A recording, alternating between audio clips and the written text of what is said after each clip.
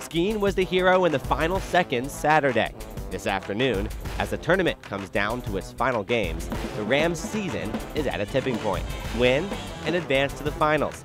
Lose, and a similar postseason fate from a year ago could be waiting.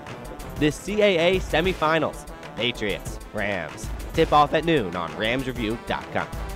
It'll be Skeen, pass down low over to Haley, basket good. DJ Haley scores the first three points of this game. It's Burgess, Burgess fights inside, kick out to Rodriguez, he wants a three and he got it. Rodriguez three is good, Rams lead six to two. Very well. Shot up by Cornelius, falls, the high arcing floater in the lane is good. Side now kick out goes to Skeen, Jamie wants a three, good. Jamie hits the triple. It's 10 to six, Rams. That against Drexel. Diaz drives inside, kicks out to Burgess. Brad wants a three straight away. Good! That six point lead. Cam Long coming back for Mason.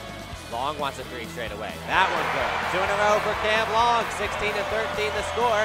Mason creeps back, coming off the dribble. Doesn't know really where to go with it. Nixon will try a deep three right wing. It's good. Nixon hits it from the right side, and the Rams take the lead right back. Burgess, second try, is good.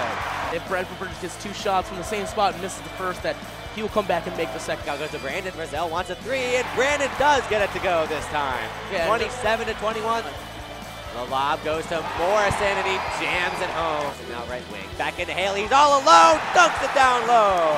Haley with a terrific jam. Rams shooting 52%. That has propelled them to a 21 to 5 run to end the first half. And I think to hold them to 25 points in the first half, that really set the tone. You know, one thing about these guys up here with me, they are extremely competitive. And when you challenge them, they always step up.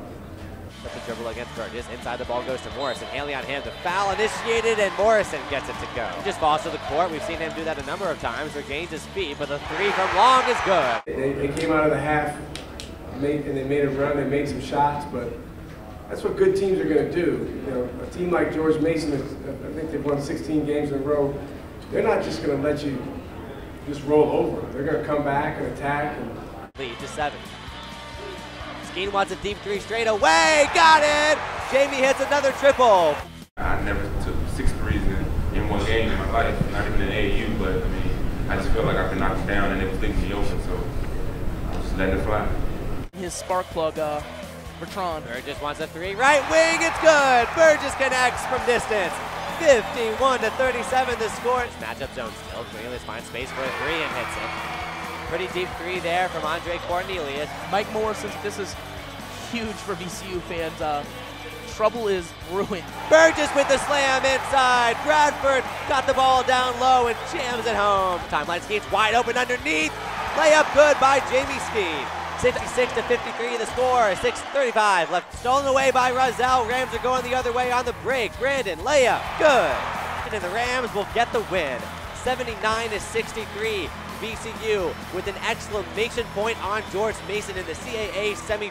Uh, you know, we're, we're highly motivated. Uh, we knew we had to win this game to keep our hopes alive to get the CAA championship. And, uh, you know, as a group, we just played as hard as we can and, and, and uh, stayed together the whole game. As far as uh, competitiveness, uh, you know, everybody's a fighter on our team. You know, when, when their backs against the wall, they're trying to do whatever they can to, to get out. And, and that's what we do. And that's what we're doing now in this tournament. second half, but our guys showed a great deal of resolve.